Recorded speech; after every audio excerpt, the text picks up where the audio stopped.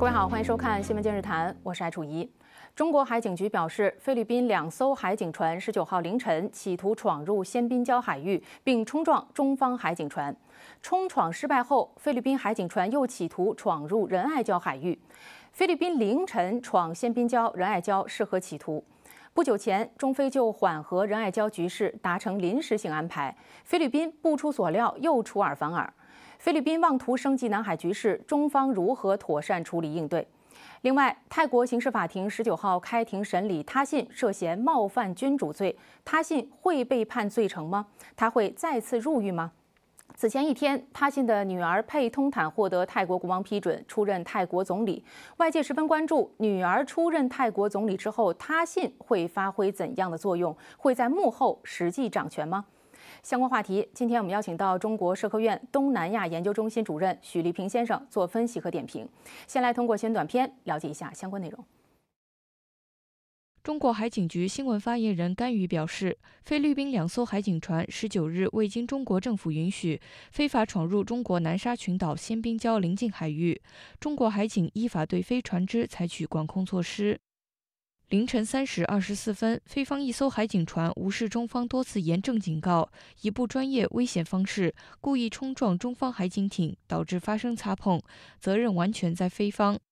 到六时许，非海警船不顾中方反复警告、航路管制，再次非法冲闯仁爱礁附近海域，中国海警对非肇事船只依法依规采取管控措施。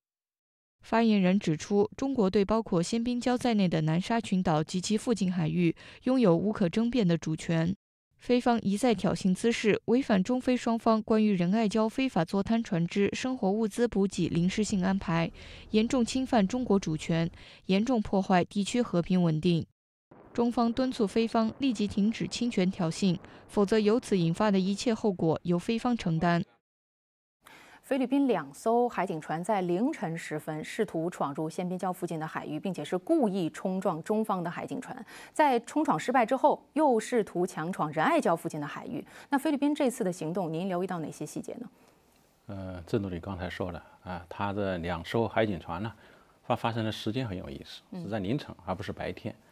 通常那个点呢，大概是凌晨三点多钟的时候，啊，一般都是军事特别军事行动的时候，一般采取那样的一个时间，所以它的时间选择点是意味非常深长的，也就是说它是经过精心的啊策划的啊，我想这是一个观察点。那么第二个呢，就是说，既然在这个时间点，那么它肯定有一个不可告人的目的，那么他们这个两艘海警船，那么肯定呃船上或者说。装载一些可能说一些呃补给的物资或者一些建筑的材料啊，都是这都是有可能的，或者说啊装载的一些换防的人员，这都是有可能的啊呃，因为要不然的话，你为什么这个时间点啊来呃让这个两艘海警船啊去呃冲撞了啊仙宾礁呢？啊，那么第三个观察点呢，就是说这两艘海警船呢，它并不是菲律宾自身建造的，它是日本。啊，赠送给他十艘海警船的啊，其中的两只，也就是说，实际上在中非这个在海上对峙，或者是中非的这些南海的冲突背后，实际上日本的因素，其他域外大国的因素在这里面扮演非常重要的一个角色。我们看到菲律宾海警船在非法闯入仙宾礁期间，中方是监测到有无人机从菲律宾的海警船上起飞，对中方进行间谍征召。菲律宾此举是什么样的意图呢？呃，实际上菲律宾的这个行为啊，实际上跟他在南海的整个的一个呃行为啊是相一致的啊。我把菲律宾在南海的这种挑衅闹事的行为，把它叫做高音喇叭了这种。挑衅行为啊，也就是说，他通过这种拍照啊，进行所谓的这种取证，然后通过这所谓的取证之后呢，来向媒体啊来进行播放啊，实际上呢，来制造菲律宾的这种受害者的这种角色，以此呢来博取国际社会对他的同情啊。我想他这种行为是跟他整个的这种行为设计是高度的呃具有一致性的。我们还关注到，菲律宾一艘九七零幺舰已经在仙宾礁的西湖内非法滞留了四个多月的时间，而且知情人士透露呢，菲这个菲律宾方面是计划再派一艘大型的潜艇再次进入仙宾礁，同这个九七零幺舰实现一个连排的锚泊。您觉得菲律宾方面是打算再次上演坐滩的戏码吗？嗯，我觉得你这个判断呢，啊，是比较准确的啊，因为它已经有一艘大型的海警船在那里坐滩了，但是这种大型的海警船可能在那坐滩呢还不稳定啊，那不能够足以的掌控在当地的那么一个局势，它可能它需要另外一艘啊来形成一个在当地形成一个比较稳定的对宪兵礁的一个掌控的一个局势。那么形成这个局势以后，它可能变成第二次的这种仁爱礁式的这种坐滩的这种行为啊，实际上是菲律宾在上演一个渐进式的对南海岛礁和海域的这么一个侵权的这个行为。实际上，他做的最后的这么做的一个目的，实际上想把呃这个宪兵礁再打造成为可能对仁爱礁进行这种建筑物资的补给的一个中转站，也就是说，它直接通。呃，仁爱礁进行补给呢，可能有一定的难度。那么未来，它可能把这个宪兵礁作为一个中转站，那为仁爱礁的这种建筑物质的补给来提供一个坚强的一个物质的一个嗯基础。另外，我们看到美菲二加二会议日前是在马尼拉举行。就在美菲二加二会议之前，中菲就管控仁爱礁的局势是达成了一个临时性的安排。而且在东盟会议期间，中菲之间的外长也就南海问题进行了一个磋商。那为什么在美菲二加二会议之后，菲律宾又开始在南海问题进行挑衅呢？实际上，南海问题中非之间我们是建立了非常完备的呃机制化的合作的。呃，我们也有热线呢，我们有部长级的，是吧？我们有这种首脑办公室的这种热线，实际上我们这种机制化的啊这种合作还是非常之多的。但是因为有局外的这些大国的这种挑衅、这些干预，使现在中非之间在南海问题上越来越复杂化啊。所以我觉得这是非常重要的一个背景的因素。因为前一段我们呃中非之间就仁爱礁的补给达成了临时的协议，实际上王毅外长呢在之前也跟呃菲律宾的外长在这个方面进进行了沟通。啊，就是说，在这个方面，希望菲律宾要信守承诺，啊，不要违反承诺。那么这样的话，不要使南海问题进一步的复杂化。那么我们知道，七月底呢，那么美菲刚才你提到了，啊，举行了二加二的，也就是外长和防长这么一个对话会议。那么这个对话会议呢，那么它一个核心内容有这么几点。第一个呢，就布林肯国务卿公开的在这个二加二的啊会议上，呃，这个记者招待会上。啊，明确的说了，就是说，美菲的共同防御条约是适用于南海的。也就是说，在太平洋的所有的地区，菲律宾的武装部队和另外一个武装部队如果发生冲突的时候，美国是有义务来进行协防的啊。所以，某种程度上说，这个菲律宾在南海挑事啊，呃，壮胆，我觉得这是非发出了一个非常明确的不祥的一个信号。第二个呢，就是在这次二加二的会议上呢，啊，美国承诺。啊，要推动在菲律宾的吕宋啊经济走廊的一个建设，因为我们知道吕宋经济走廊，那么呃有五个重要的一个项目啊，特别是要推动这种货运铁路啊，还有港口的现代化的升级啊等等一些。那么美国承诺要给菲律宾在这个方面要提供一些经济上的一些资源，所以这两点呢，我觉得啊，在二加二的这个会谈中，给菲律宾一个是安全上的。啊，一个承诺，另外一个经济上的一个诱饵，使这次在菲律宾，在八月份的中菲的海警对峙中啊，啊，某种程度上说发出了一个非常啊挑衅性的一个信号。菲律宾目前在南海挑衅的力度是越来越大，在黄岩岛、仙滨礁、后藤礁、铁线礁等等多个点位进行挑衅，并且除了菲律宾的海警参与之外，我们还看到还有菲律宾的空军。为什么菲律宾要升级地区的局势呢？实际上，菲律宾升级局势、地区局势，我觉得有这几个方面的考虑。一个呢，就是政治上的正确，因为菲律宾升级这些局势，他打的旗号就是要啊，呃，就是要践行二零一六年的南海所谓的呃仲裁案啊，要把这个仲裁案呢，要把它给实体化，或者说把它给变成具体的一个行动，来维护所谓菲律宾呃非法主张的。岛礁和呃相关的海洋的权益啊，那么这个方面呢，在菲律宾还是取得了一定的民意的这个支持，我想这是非常重要的点，因为我们知道菲律宾啊明年将要举行中期选举，那么他通过这种啊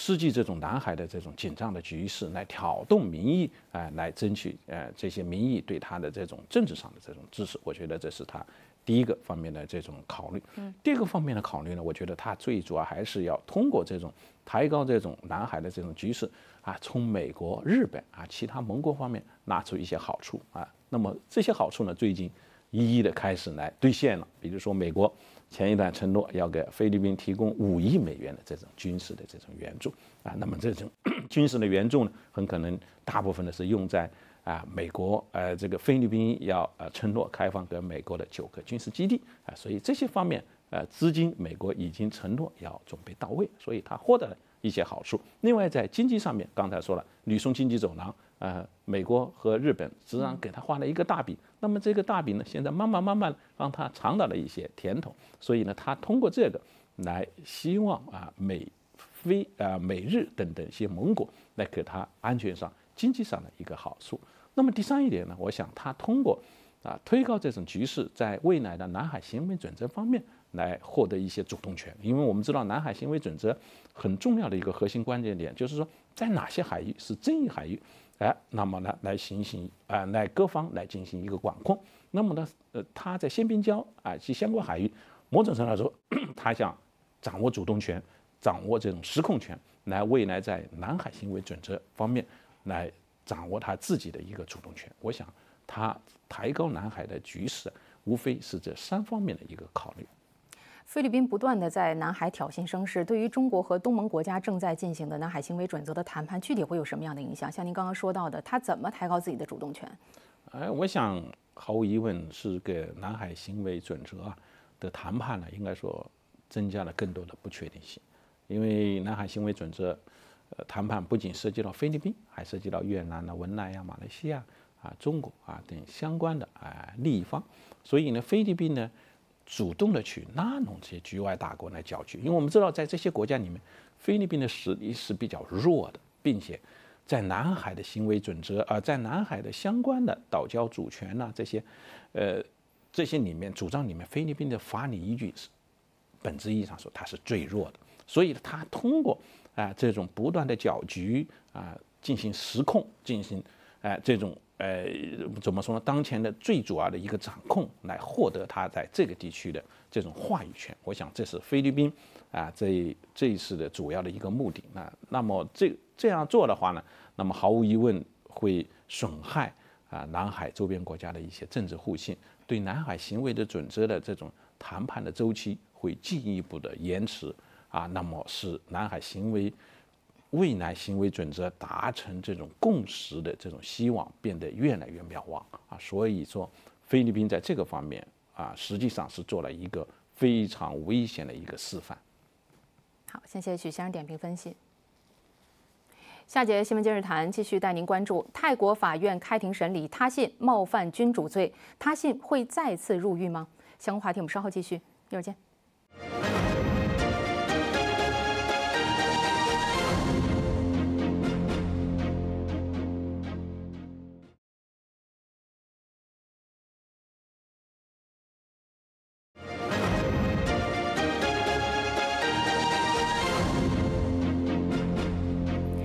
新闻今日谈，欢迎您回来。泰国前总理他信十九号现身曼谷刑事法院，就其所涉冒犯君主案出庭应讯。当天庭审结束后，他信走出法院，面带微笑，但没有回答记者提问。现年七十五岁的他信被指于二零一五年在韩国接受媒体采访时攻击泰国君主制，构成冒犯君主罪。此外，他还被指违反泰国计算机犯罪法。他信今年六月曾否认所有指控，并获准以五十万泰铢保释，但不得离开泰国。他信日前曾向法院申请前往阿联酋治病，但遭到拒绝。去年八月，他信结束十五年海外流亡，返回泰国，抵达当天即遭逮捕。泰国最高法院之后以贪腐罪判处他信八年监禁，后经泰国国王两次特赦，他于上周刑满出狱。另外，他信的女儿为泰党党首佩通坦十八号获泰王正式任命出任新一任总理。现年三十七岁的佩通坦是他信的小女儿，她成为泰国历史上第二位女总理，也是最年轻的总理。他信到场参加了女儿的就职典礼。就职仪式结束后，佩通坦发表了施政演说。他表示会在施政上寻求父亲他信的意见，同时表示期待泰国能与中国有更多的合作。去年他信回国之后被判入狱一年，十七号是刚刚被特赦提前释放了，这次又被起诉，您觉得他会再次入狱吗？我想他信再次入狱的可能性还是比较高的，因为他信这一次涉及到是涉及到刑法的一百一十二条，也就是说冒犯啊君主罪啊，那么这一条是应该说是呃泰国一个非常重要的一条法律的条文。呃，但是呢，起诉他信，因为刑事犯罪法嘛，啊，通过刑事案来起诉的话，它的过程是非常漫长的，因为它需要很多的证据啊，因为刑事犯罪它涉及到呃呃嫌疑人的这种人身自由啊等等一些方方面面，它需要很多的一些案件的这些要素，所以呢，呃，起诉的法庭他需要寻找啊这些相关的要素，因为他的缘由嘛，就是。呃，他信曾经在呃接受呃首尔呃媒体的采访的时候啊，谈到了说泰国的枢密院啊策动了所谓的军事政变啊，有冒犯君主之嫌，呃，所以呢，这个过程我个人认为至少是持续半年以上啊，那么甚至可能一年或者更长的一个时间啊，那么呢，正是因为法这条法律是非常重要，所以他这个证据呢，应该说某些方面的找呢。也并不是很难的啊，但是呢，也需要经过一个法律的过程啊。那么，按照以前的这种案例的这种判决呢，我个人认为，他入狱的可能性是比较大的。但是入狱以后，是不是还会上演一个国王对他赦免？我觉得这还是值得观察的。刚刚新闻短片当中也提到了他信的小女儿佩通坦，在十八号是被泰国的国王正式任命为新一任泰国的总理。呃，前任的总理塞塔十四号是刚刚被解职。塞塔是他信的好朋友，也是他的支持者。塞塔被解职背后的原因，您怎么来看？嗯，塞塔背后被解职，我觉得还是与他信有关啊，因为他的导火索就是因为塞塔任命了他信的前法律顾问作为总理府的部长。所以引起的呃泰国极端保守派的极力的反对啊，所以这些极端的保守派应该说是极力的反对他信的，跟他信势不两立。但是我们呃看到了他信自从回国以后非常的活跃啊，并且呢某种程度来说啊，他信呢对塞塔政府的这种干预啊，某些方面呢超出了极端保守派他们所忍耐的这个程度，所以他们通过这个案件。通过司法的判决而塞他下台，某种程度上说，就是要给他信干政一个严厉的一个警告啊！所以这就是体现了啊支持他信的力量和呃反他信的力量一个艰巨的博弈。但是在保守不好占据司法体系的这么一个大的背景下，毫无疑问啊，那么塞塔就被判决下台了，实际上是对他信本人的一个巨大的一个打击。佩通坦也成为了泰国历史上第二位女总理，同时也是最年轻的总理。您觉得为什么她会成为泰国新一任的总理呢？呃，因为我们知道她现在有三个孩子，呃，一个是儿子，还有一个佩通坦的姐姐。那么她的儿子呢，呃，实际上他也얻얻了一身官势，能力呢也表示平平呃表现平平，所以呢，他想当选为总理的候选人是比较困难的。那么她的姐姐呢，实际上。是从事商业的啊，因为我们知道在泰国从事商业，你可能有很多的，呃，被人抓住的把柄，所以也不适合从政。而贝通坦呢，实际上是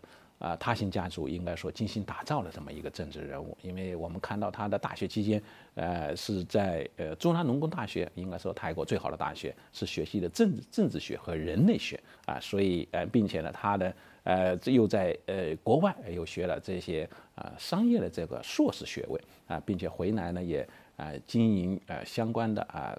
他们家族的一些生意啊，所以他整个的来说呢履历啊还是比较完整的。另外呢很重要的一个因素啊，就是佩通坦的丈夫是很有意思的人物。佩通坦的丈夫是泰国航空公司的飞行员，而这个飞行员呢又是有泰国王室的血统，也就是说。在政治上是具有这种可靠性，所以这也就是，哎，在是在这个佩通党个人的这个亲和力比较强。另外呢，你看他这次呃当选，他是很重要的，因为我们知道，呃，卫泰党所在的支持联盟一共有十一个政党，那么这十一个政党在议会里面的议员呢，那么投票选举总理是非常重要，并且他跟这些议员的关系是非常好的。我觉得还有更重要一点的，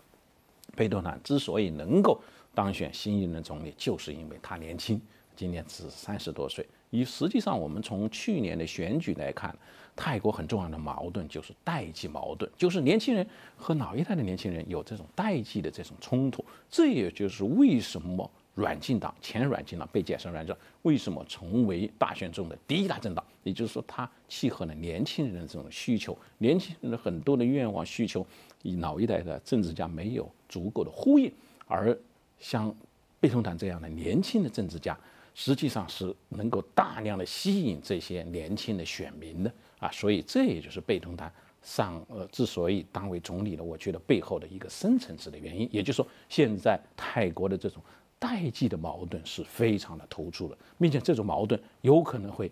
超越传统的这种啊红黄之争。佩通坦出任总理之后，对于他信家族在泰国政坛的影响力来说，意味着什么呢？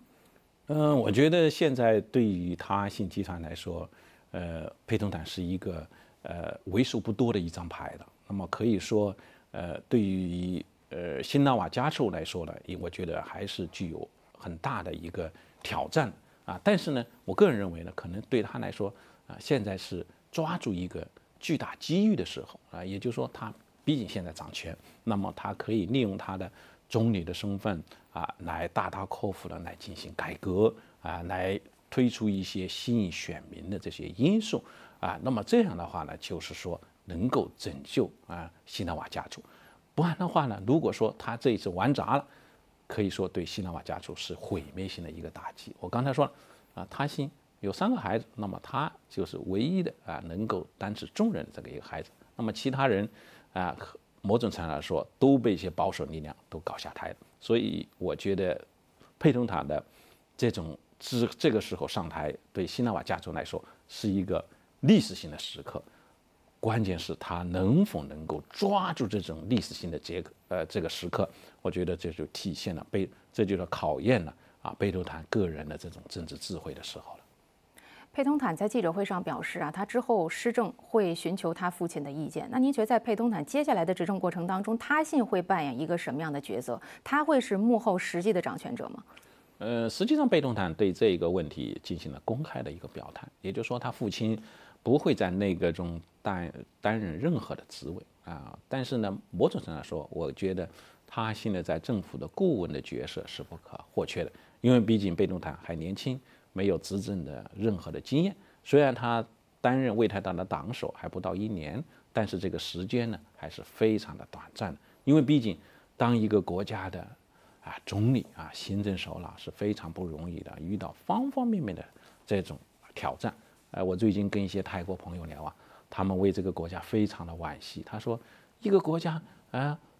给一个这个不懂事的孩子掌握了，这个太可悲了啊！所以都是一些政治家在背后玩弄权术，把整个国家给出卖啊！这就体现了一些老百姓呢对贝东坦的执政呢不太放心，因为毕竟他非常的年轻。所以在这一点来说呢，我个人认为啊，可能他信在一些关键的问题上会给呃贝东坦一些助力。毕竟他信，我觉得是一个非常具有经验的老牌的政治家。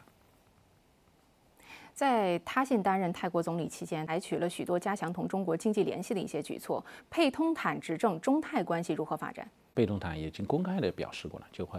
和中国开展更多的这种合作。因为中泰一家亲嘛，我们之间的关系是非常的密切的。呃，特别是现在啊，“一带一路”啊，跟泰国的相关的战略进行对接啊。我们知道，现在中老铁路啊开通了啊，那么在互联互通的领域，哎，那么。呃，中泰铁路啊，也在的进一步的推进，并且老挝和泰国的这种铁路啊，前一段也进行了联通，所以这一块的，我觉得在互联互通的领域方面，未来可能中泰要啊进一步的着力来推动啊这个方面的发展，因为一旦互联互通成功的推进以后啊，对泰国的货物的出口到中国啊，乃至泰国的货物出口到其他国家，是一个巨大的一个利好。另外一个呢，我觉得中泰之间在一些新能源。啊领域有巨大的合作的空间。啊，去年我也访问了泰国，今年也访问了泰国，所以，呃，两次访问泰国呢，我个人感觉印象比较深刻的，现在很多的中国的新能源汽车进军啊泰国，因为我们知道泰国是日本丰田汽车的一个在东南亚的生产基地